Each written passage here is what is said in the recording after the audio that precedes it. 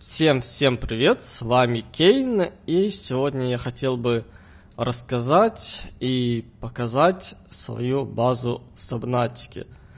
Знаете, у меня было довольно долгое знакомство с этой игрой.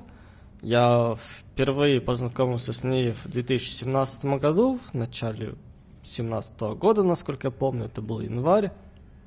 Ну, у меня где-то был скриншот той версии, как раз таки, наверное, а, сюда его вставлю, чтобы вы понимали, какая тогда была версия игры. И смысл версии 17 года стоял в том, то, что она была непроходима. То есть там не, был, не была закончена сюжетная линия, и фактически ее нельзя было пройти. Ну и контента было, скажем так, чуть меньше, чем хотелось бы.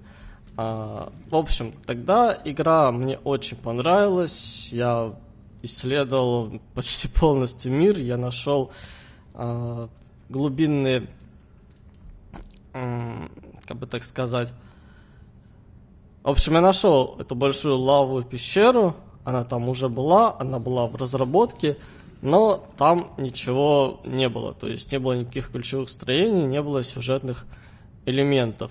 И знаете, тогда я как-то не наигрался в игру, мне хотелось еще в нее играть, мне хотелось еще что-то в ней делать. И у меня была идея построить базу, большую базу, которая являлась бы, знаете, это таким гаражом для подлодки, для циклопа.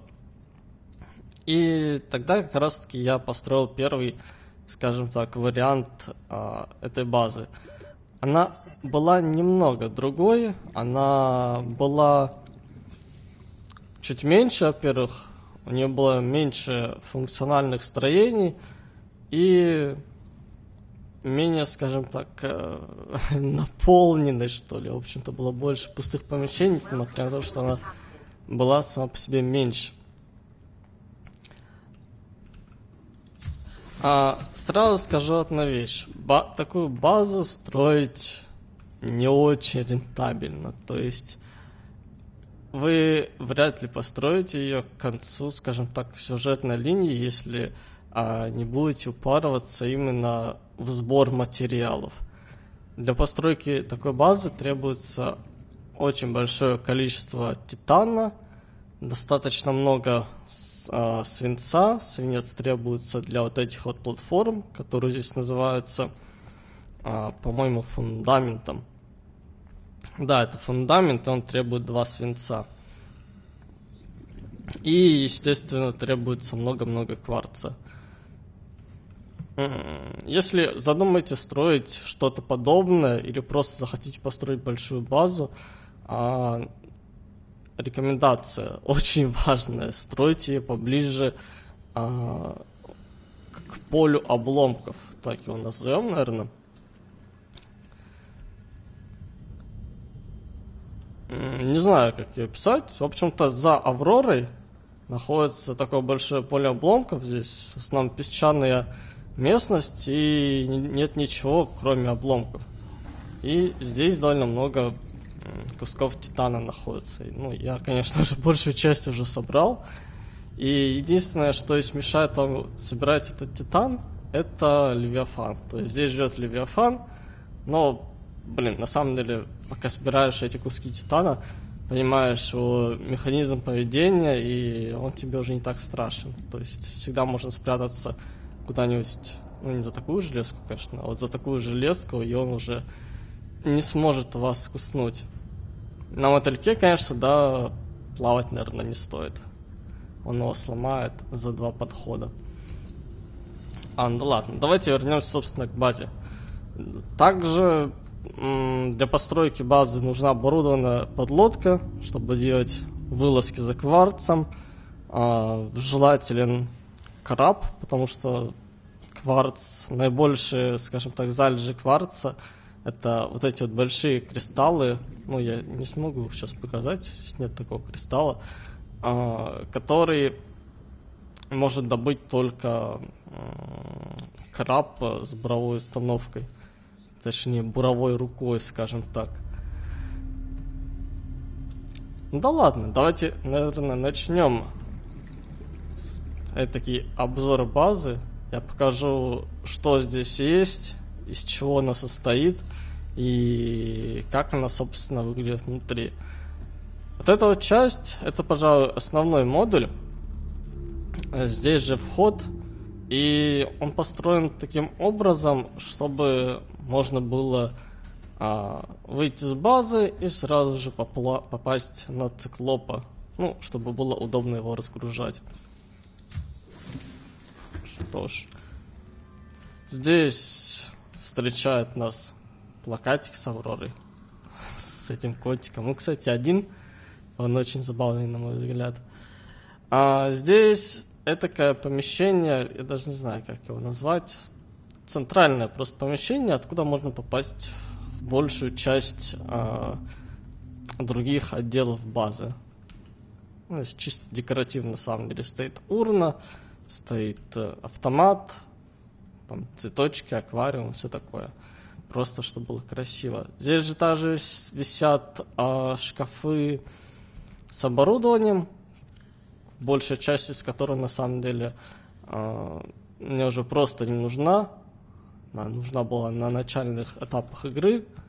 Тут же антирадиационный костюм, вот эти вот водостойкие контейнеры и так далее. Если пойти отсюда налево, то можно попасть, наверное, в самую часто посещаемую комнату на этой базе.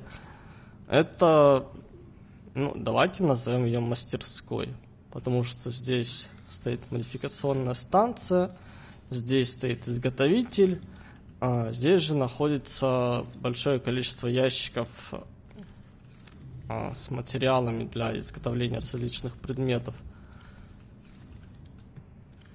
Так что батарейки, энергоячейки. Здесь же находится зарядное устройство для батареек, энергоячеек и так далее. Лестница наверх, сейчас мы туда поднимемся. Здесь можно увидеть кабель, кабель питания. А, он ведет на теплоэнергостанцию. Она где-то ну, там находится, недалеко от спасательной капсулы, собственно, с которой мы в которой мы оказались на этой планете. Так, если подняться, а, здесь будет вот такое помещение, полностью застроенное шкафами, и это помещение хранилища.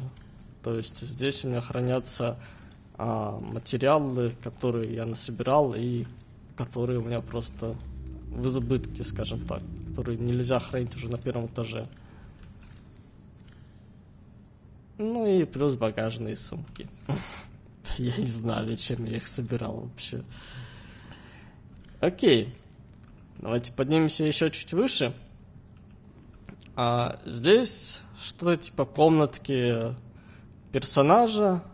Здесь находятся различные предметы, которые чисто декоративные, которые можно собирать а, во время прохождения игры.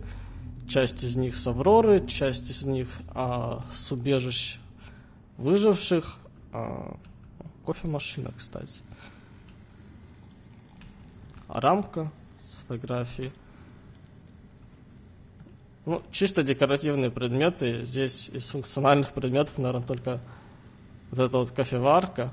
Ну, рамка, естественно. Кровать и сумка. Сумка не пустая. А я храню в сумке?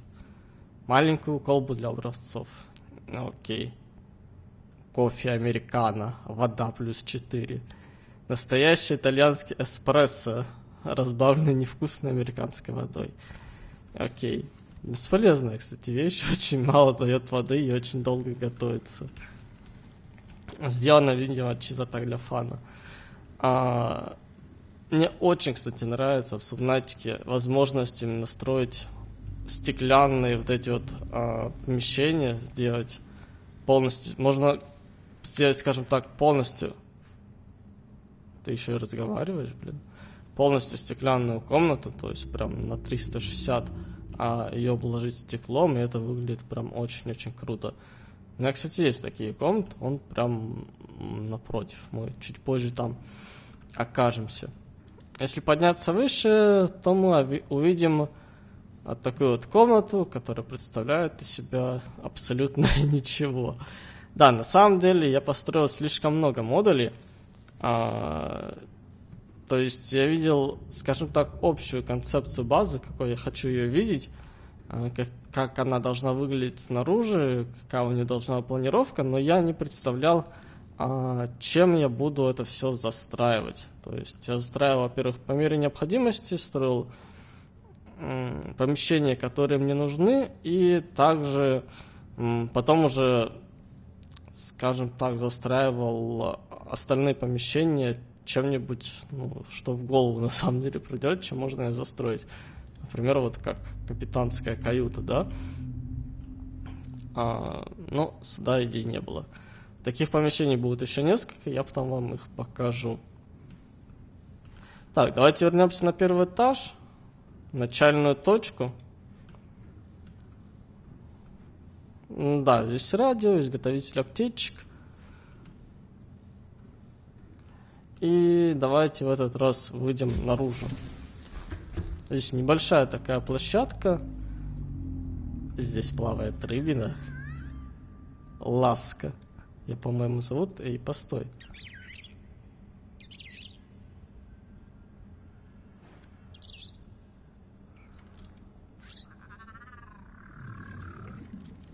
Безумно милое, забавное создание. А его можно вырастить в аквариуме, если, собственно, найдете игру... О, игру говорю. А... Яйцо это рыбина. Всего в игре я находил их две, то есть два яйца. Это ласки, и в основном они а, находятся в ключевых строениях, скажем так, сюжетных. А здесь у меня что-то типа фермы.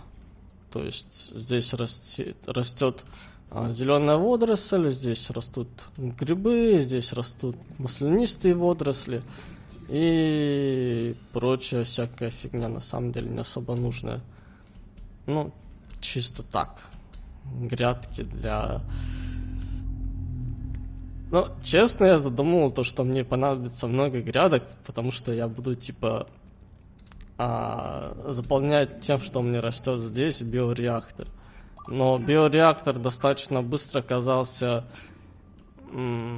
скажем так, не нужен, потому что я нашел атомный реактор и, ну, грядки остались для красоты в большей части. А ты меня воздухом будешь питать? Да, ты меня питаешь воздухом. Замечательно. Единственный тут более-менее такой полезный предмет, точнее, более-менее полезное растение, это, наверное, вот этот вот карликовый клубник куст.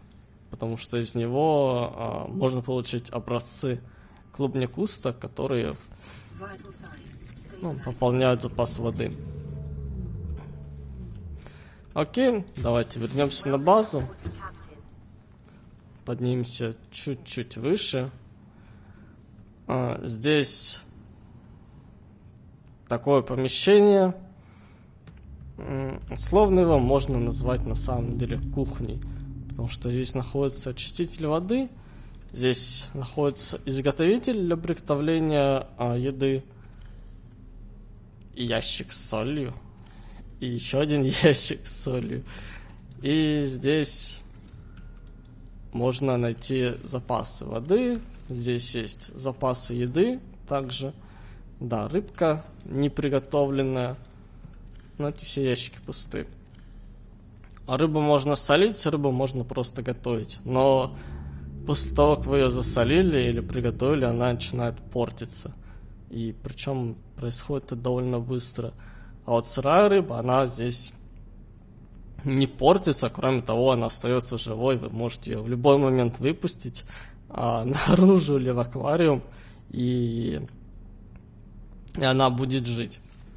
Не знаю, такие технологии. Поэтому смысла как-то солить рыбу или а, готовить мало. То есть прям надо делать перед тем, как вы хотите скушать. Ну, либо, не знаю, нет, солить, в принципе, есть смысл, если вы куда-то прям отправляетесь на чем-то таком, а, где нет изготовителя, например, на мотыльке. Это происходит чаще в самом начальном этапе игры, который длится не очень долго. Потом у вас появляются такие интересные вещи, как ферма. Да, это этаж с фермой. Кстати, он полностью стеклянный, тут на все 360 градусов а, а стекло. Это очень красиво выглядит, как изнутри, так и снаружи. Здесь находятся растения, которые растут на островах на этой планете. Некоторые из них чисто декоративные, как, например, вот этот корзиночник или папоротниковая пальма. А, но есть и полезные, на самом деле, растения, типа вот этого лампиона. Это очень сытная еда. Да, еда плюс 10. Давайте накормим нашего персонажа. Также растет луковое дерево и китайский картофель.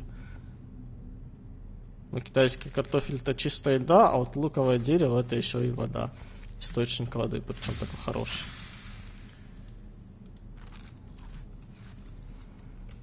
И под конец можно кофе все это запить. М-м, вкусняшка. Да, растение мин, вот это вот чаша яфа, это тоже бесполезно на самом деле растение. Чисто для красоты или как корм для биореактора. Поднимаемся выше. А здесь э, небольшое тоже хранилище и переходная комната. Хранилище, потому что здесь находятся семена, семена растений, которые можно выращивать в помещении или которые можно выращивать на грядках снаружи. Также отсюда можно увидеть циклопа. Красивый обзор на большую часть базы. И отсюда можно попасть... Э, я забываю, как эта штука называется. Там стыковочное что-то, насколько, да? Да, стыковочная шахта. Здесь находится стыковочная шахта а, с мотыльком, ну, здесь, в принципе, ничего особо не делалось. То есть здесь э, находятся постеры, здесь находится шкафчик с улучшениями для мотылька или для краба. И, в принципе, все. Больше здесь ничего интересного нет. Есть такая лестница наверх. Ну, я, наверное, потом расскажу, что она делает, куда она ведет. Сохраню интригу. Мы туда сходим в конце, скажем так, обзора. Да, кстати, такую базу на самом деле не очень целесообразно строить, и еще одна есть такая причина, я, наверное, скажу о ней а, в самом конце. Пока давайте продолжим. Не, давайте с первого этажа продолжим, так будет интересней. То есть центральные комнаты, а, со входа то есть, когда мы вошли, можно пойти направо и увидеть... Да, грядки с грибами, why not? Просто грибы. Гипнотизирующие. Нет, ну они выглядят на самом деле прикольно. Они что там раздуваются, как-то движутся. Правда, непонятно по какой, по какой причине. Потому что Здесь как бы стабильное помещение, здесь нет ни ветра, ничего, и а, причина, по которым они движутся, ну, они живые, скажем так, наверное. Если подняться выше, то здесь будет биореактор, да. А, основной, наверное, источник питания на первое время, когда я только начинал строить эту базу. Он очень сильно выручает, особенно ночами, когда кончается заряд от э, солнечных батарей, по-моему, ну да, это солнечные батареи. А, и то есть ночью фактически биореактор только и спасает. Единственное, он прожорливый, ему всегда, его всегда надо чем-то кормить, но вещь, несомненно, крутая. Еще она крутая, потому что она ей можно скормить абсолютно любую биологическую материю. То есть семена, рыбу тухлую, яйца, да, даже вот песчаную акулу, которая является живая, которая выращена в аквариуме, даже ее можно скормить биореактору. И это, кстати, а, одно из лучших типов топлива, потому что он сразу же наполняет почти весь биореактор и работает очень-очень долго.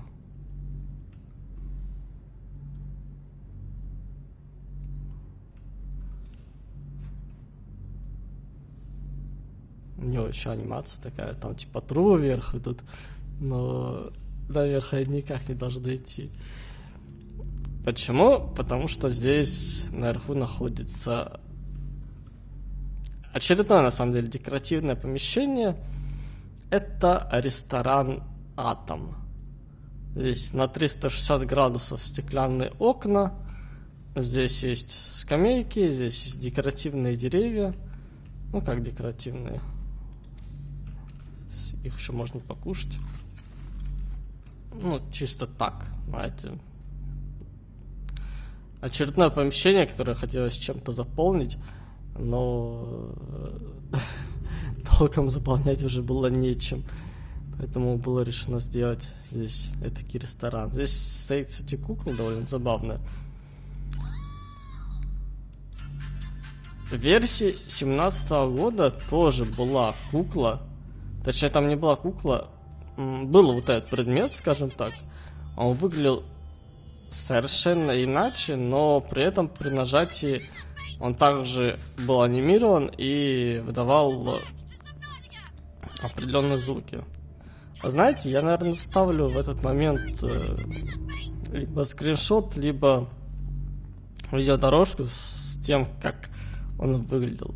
Не, не знаю, почему разработчики решили это изменить, но Блин, предыдущая версия, мне кажется, была забавней. Так, давайте поднимемся выше. А, ну да, кстати говоря, у вас наверняка мог возникнуть вопрос, почему ресторан называется «Атом». Все просто. А, здесь слышен звук атомного реактора, который находится выше. Да, он, кстати, табличка висит. Ресторан «Атом» ниже. Ну, типичный ядерный реактор. То есть ничего он особо не представляет. Сколько там сожрал топлива? За все прохождение, за все время, как я его построил, он успел съесть а, два топливных стержня. И еще два у него есть. То есть один раз заполнить его, и этого более чем достаточно а, на всю игру. Да, кстати, если вы будете строить базу сабнатики, неважно какую, большую, маленькую, а, длинную, короткую, обязательно стройте побольше люков. Это очень удобно. Прям будете кайфовать с, с такой возможности а, зайти а, на свою базу с разных точек. Когда вход один или их несколько, то есть они где-то внизу, это очень удобно, то есть там придется бегать, во-первых, всю базу, чтобы выйти, либо плывать ее, чтобы в нее войти. Зачем я вышел? Здесь еще один такой интересный момент. Есть комната сканирования. Она отлично размещается над а, многофункциональным блоком, но при этом в нее нельзя попасть, скажем так, классическими методами, типа там лестницу сделать из многофункционального блока а, в комнату сканирования. Такого не получится. Поэтому здесь пришлось мудрить, делать вот такие вот тоннельчики, через которые можно в нее попасть. Давайте как раз таки туда сходим.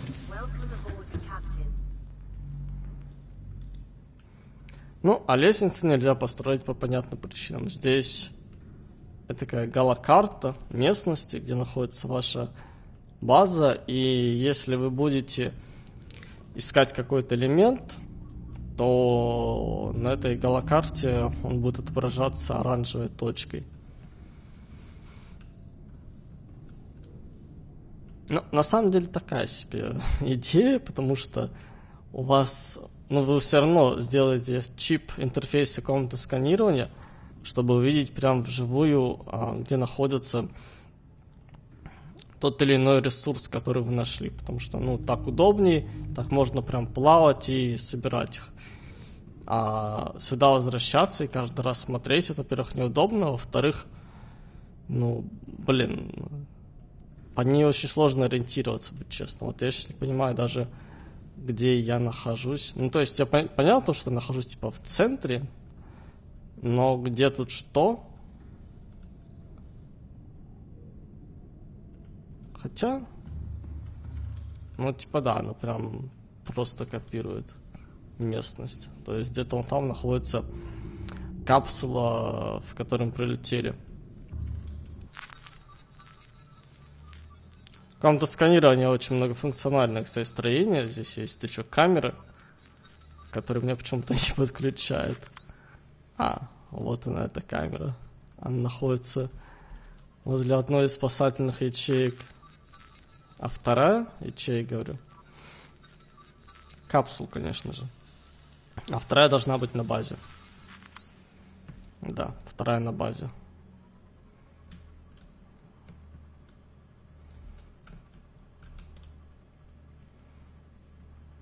Можно было, кстати, вот так вот повесить, чтобы было видно всю базу.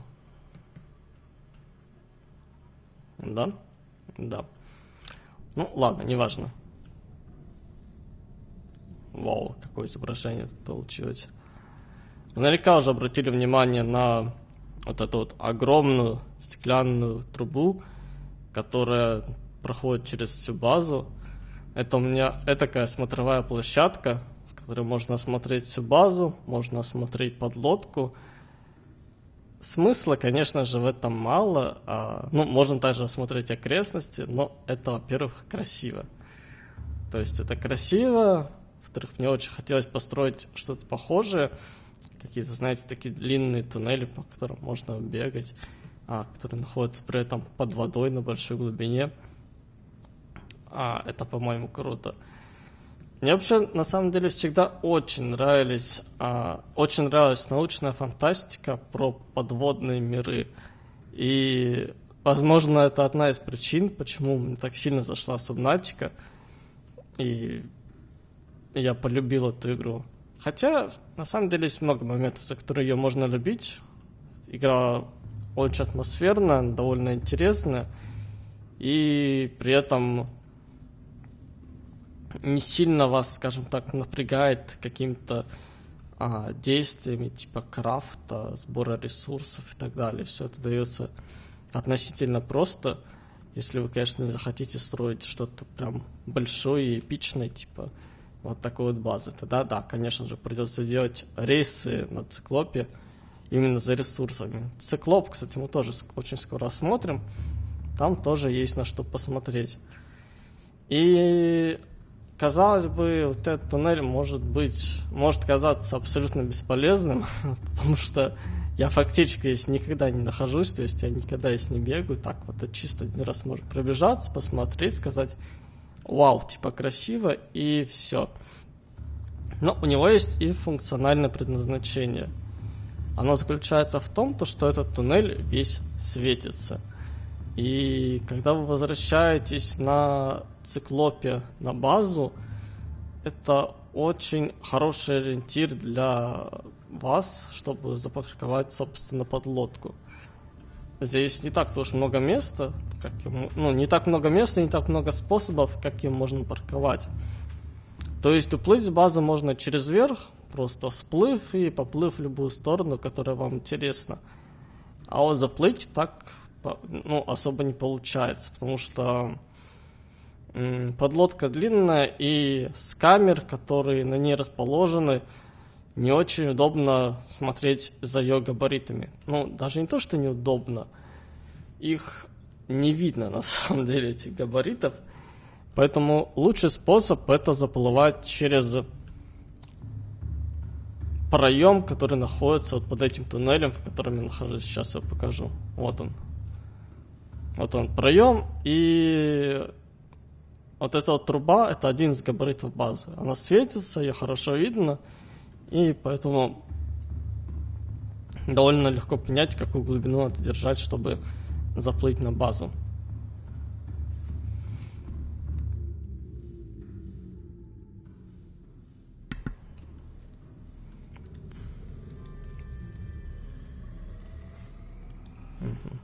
Водичка изготовилась. Давайте продолжим осмотр базы. Здесь есть еще такие же стеклянные туннели, которые соединяют а, другие многофункциональные модули, но в них также можно попасть с воды. И в большей части из них уже находятся аквариумы, четырехэтажные аквариумы. Ох ты, блин, два краба кальмара. Да, здесь я ращу рыбок. Как ращу? На самом деле просто проверяю, что вылупляется из яиц, которые находил. А, и они есть не агрессивные, их можно всех в любой момент собрать, отправить в биореактор – куда-нибудь пересадить. Э, ты чё, братюнь? Вернись в аквариум. Блин, серьезно? А как он там оказался вообще? Первый раз такое вижу. Никогда такого не было, и вот опять, да? А, все, он вернулся в аквариум, похоже. Да. То есть обычный четырехэтажный аквариум, ну, чисто чтобы проверять яйца. Здесь комната опять-таки стеклянная на 360 градусов.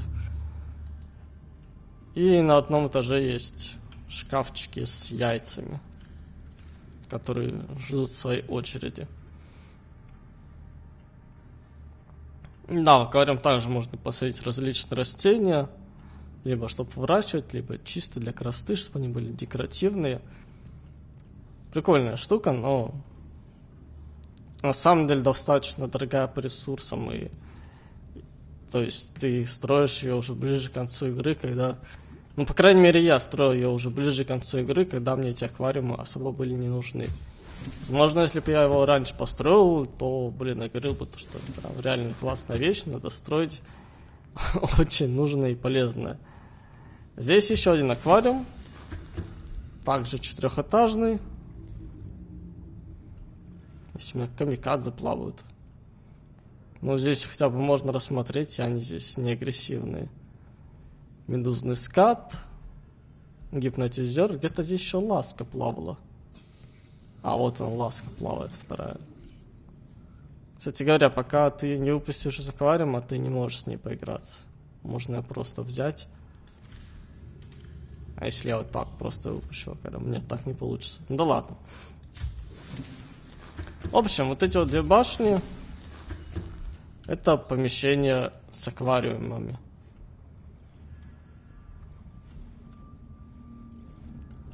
есть еще две башенки. Я их называю башнями, не знаю. Хотя они мне больше на самом деле напоминают... А... Знаете, на фермах строят такие сооружения, а, в которых хранят зерно. Они не слишком высокие, но при этом достаточно такие, скажем так, полненькие. И мне почему-то вот эти вот сооружения из четырех многофункциональных модулей как раз-таки напоминают а, вот эти вот постройки на фермах. Не знаю, как они называются, кстати. Ну да ладно, неважно.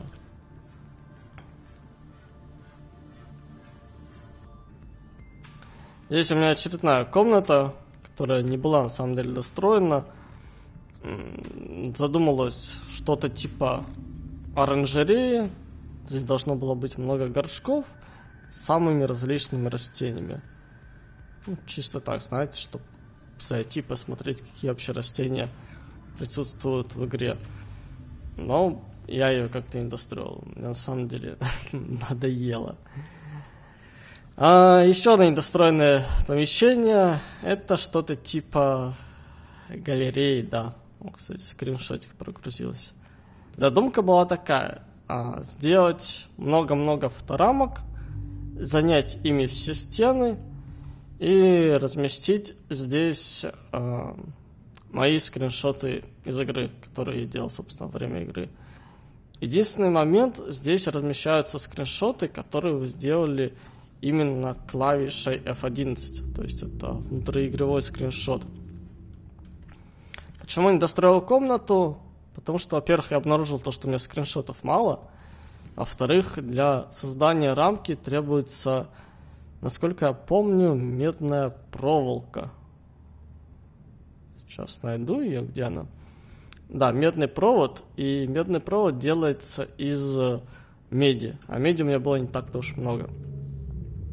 Но на самом деле вот эта вот идея интересна, и может быть когда-нибудь я ее продолжу и завершу, потому что по идее а, вот эти вот скриншоты это просто картинки формата а, JPG, да, JPG, которые находятся в папке с игрой.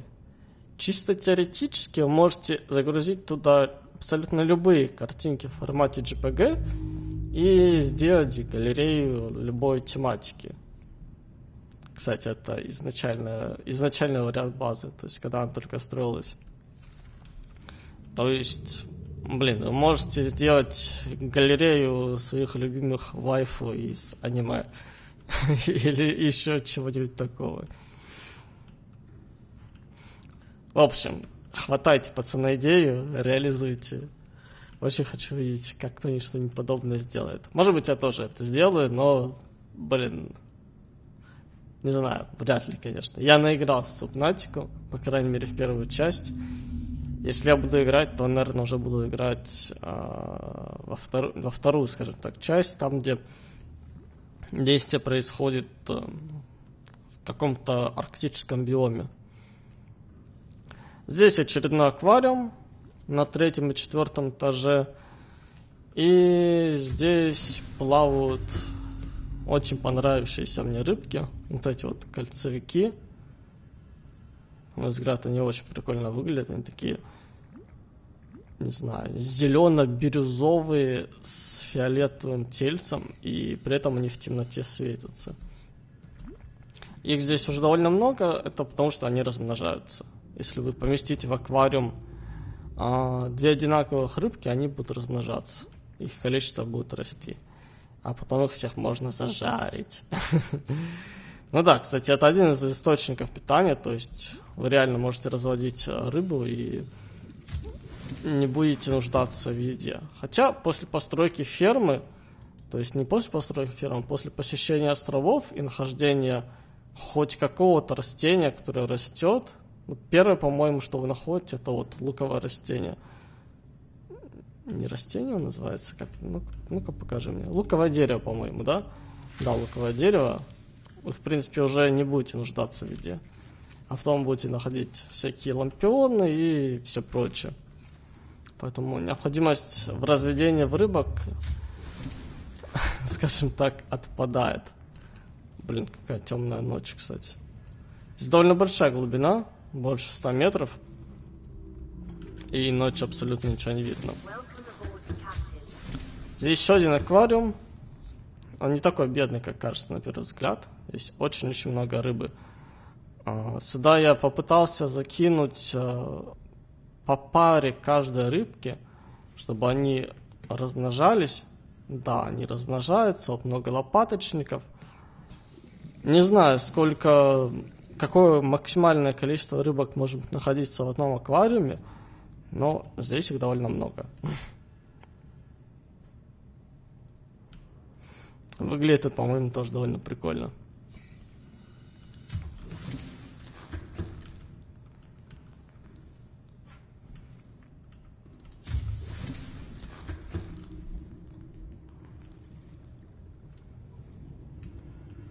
Окей, с базы, в принципе, закончили. Я показал почти все сооружения, которые здесь есть. Мы не ходили только наверх.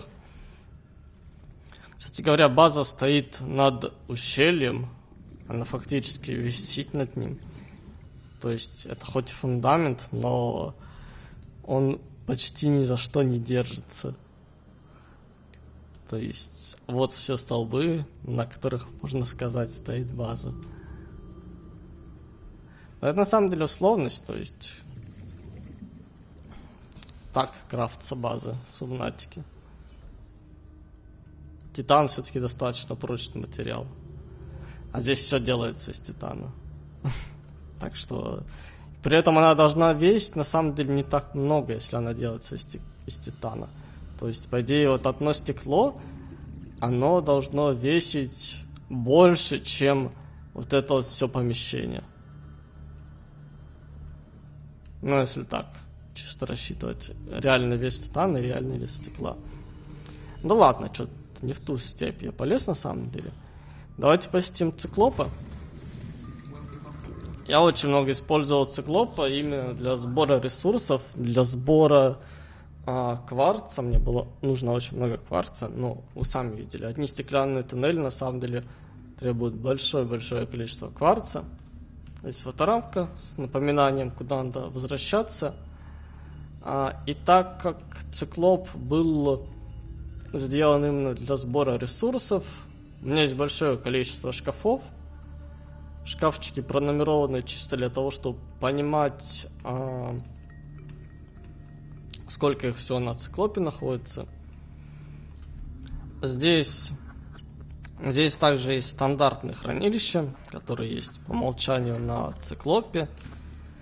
Но есть аптечки, батареи, всякий инвентарь, который может там понадобиться в дальнем путешествии. Краб находится очень нужный, кстати, в экспедициях по добыче ресурсов, потому что у него одна рука — это бурда. Давайте поднимемся выше. Каюта капитана. Ну, это не каюта, точнее, это это. Это мостик капитанский, насколько я помню. Здесь, в принципе, ничего интересного нет. То есть разместил только рацию, изготовитель аптечек на всякий случай, а, повесил два шкафа, один с инопланетными предметами, которые мы находим в игре, другой пока пустой.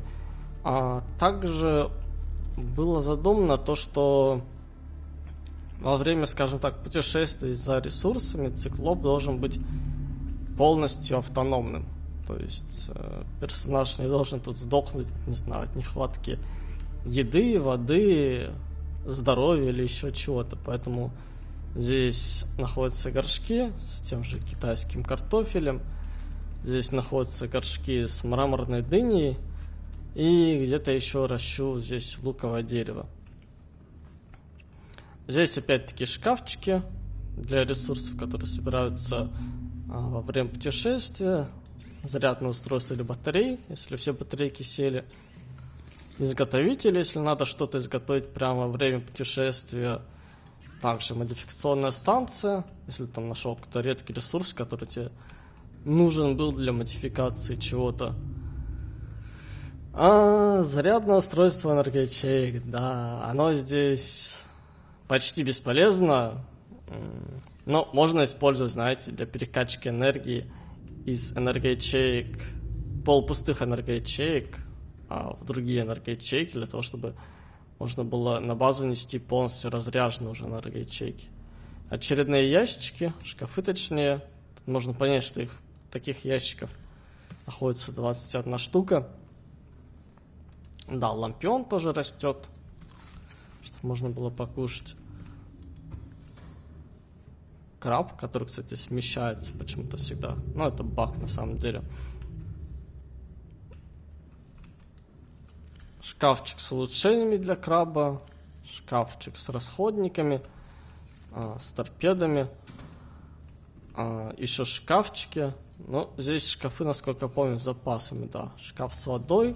Шкаф с рыбкой, с другой едой. Здесь есть питательные батончики, которые были украдены с Авроры. Здесь еще шкафы. Да, шкаф с запасными энергоячейками, запасными приманками для существ. Правда, нам всего одна осталась. Огнетушители и модификации для циклопа.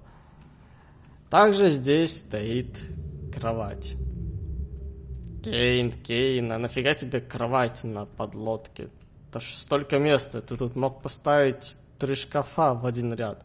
На самом деле кровать один из самых полезных инструментов на подлодке, потому что день и ночь здесь меняется не очень, скажем так, быстро, а ночью на большой глубине вообще ничего не видно. То есть у вас есть фонарик, но видеть, будете видеть только то, что освещает фонарик. То есть это небольшой круг, а, в который светит фонарик. Ну, наверное, здесь его более-менее будет видно.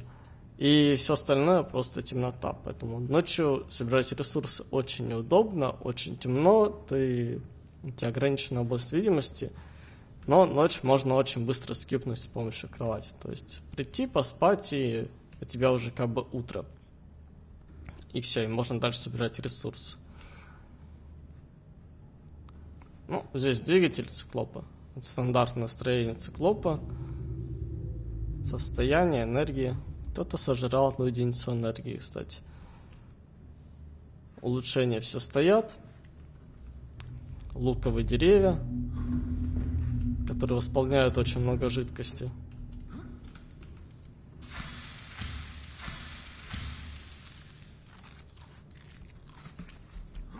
Отлично, теперь мы не сдохнем от обезвоживания. Да, здесь уже стоят ионные энергоячейки, самые лучшие энергоячейки в игре, которые есть, поэтому этот циклоп может делать, не знаю, штук 10 кругосветных путешествий вокруг этого мира, вокруг мира данной игры.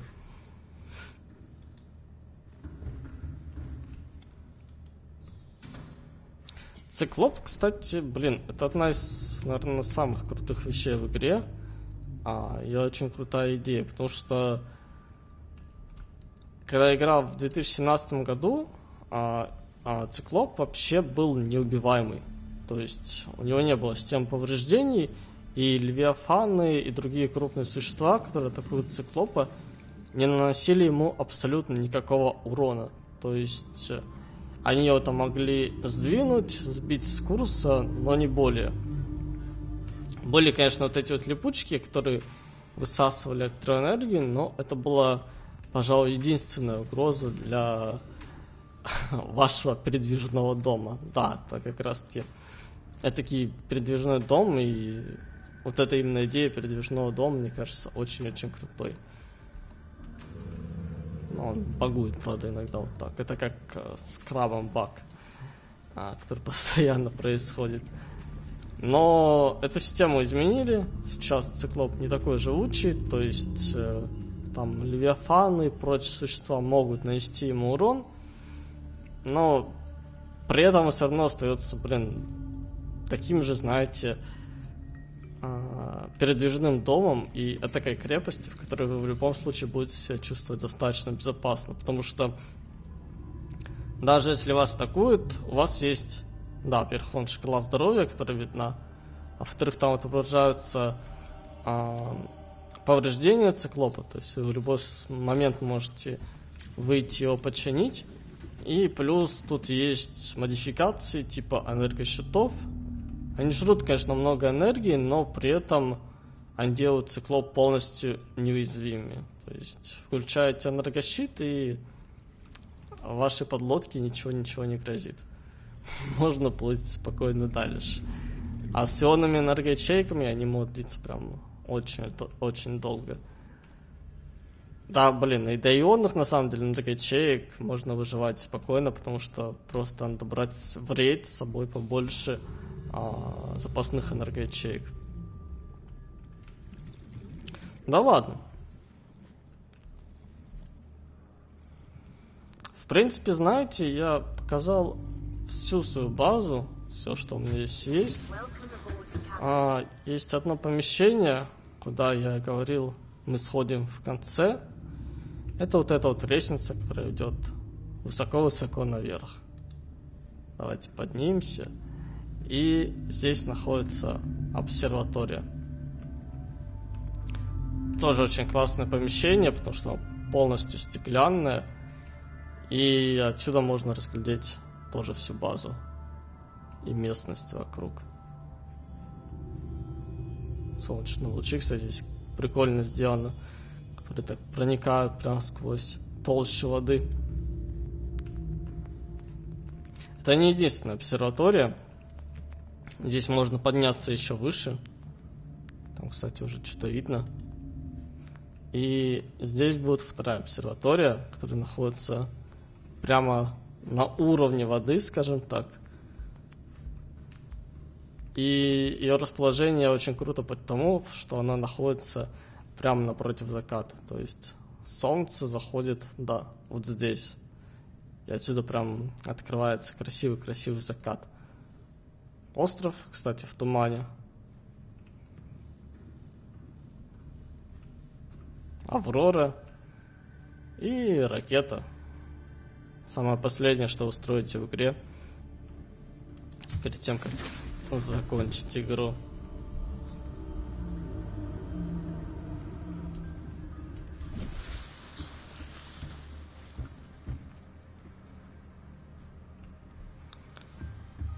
Про ракету ничего особого рассказать не могу. Стандартная ракета, которая строится в игре. Чертежи, которые вы находите а, в капитанской каюте в Авроре, насколько я помню. Блин, как быстро, кстати, планета движется. Он второй, кстати, остров находится.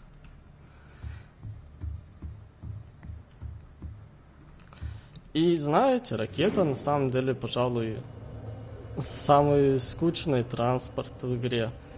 Это даже не транспорт, это просто, знаете, наверное, средство для того, чтобы а, закончить игру. Красиво это все выглядит, кстати. Но видно почти все границы мира. То есть он один остров, там за ним, ну, еще немного места, и все, и мир кончается. И он второй остров за ним тоже еще какое-то немного, ну, небольшое пространство, и там тоже фактически мир кончается. Но при этом мир Сабна Сабнатики очень насыщенный и... Так, отвлекли немного. Насколько я помню, я говорил о том, что о мире, о его размерах, о том, что он, в принципе, не очень большой, но при этом очень-очень насыщенный. То есть очень много объектов, очень большая концентрация объектов, скажем так, на квадратный метр, и из-за этого он не кажется маленьким, несмотря на свои размеры. Да, вон с той стороны происходит закат, и из вот этой обсерватории он прям выглядит очень красиво. Ладно, давайте посмотрим на ракету, что ли, под конец. Ракета Наверное, кстати, единственный такой транспортник, в котором нельзя... Ну, в отличие от циклопа, в нем нельзя ничего строить. Здесь есть встроенные шкафчики. Круто, конечно, что они есть, но они абсолютно бесполезны. То есть я вроде бы их там чем-то загрузил, но а в этом нет смысла никакого, к сожалению.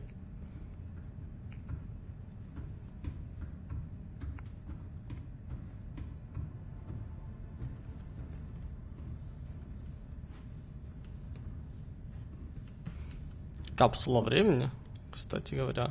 Она не обнулилась, интересно? Не, не обнулилась. Может быть, вам повезет, и вы найдете в игре мою капсулу времени. Выглядит она так. А, в любом случае, я, наверное, буду на этом заканчивать. Я надеюсь, вам понравилось это видео. Я надеюсь, вам понравилась моя база. А, может быть, вы нашли что-то из этой базы интересное, возможно, у вас появилась какая-то своя идея, или вы просто реши, захотите воссоздать что-то подобное. А, в любом случае, сегодня это все. Я надеюсь, вам понравилось это видео. С вами, как обычно, был Кейн. Всем удачи, а я полетел.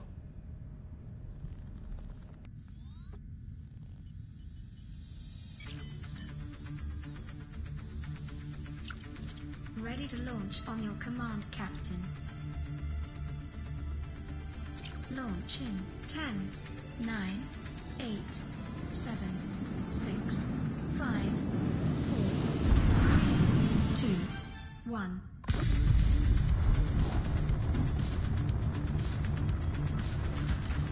Time capsule jettison.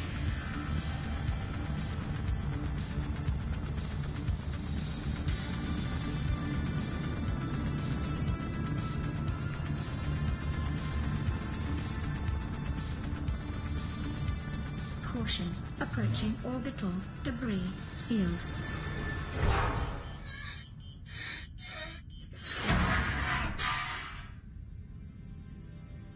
Orbital debris field clear. Performing gravity turn maneuver.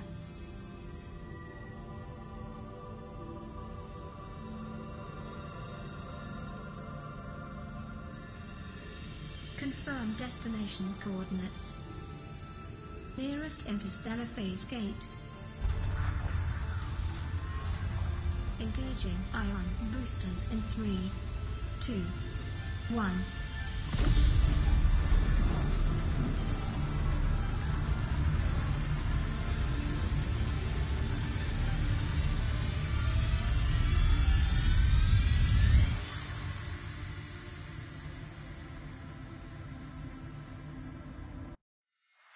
Небольшое такое послесловие.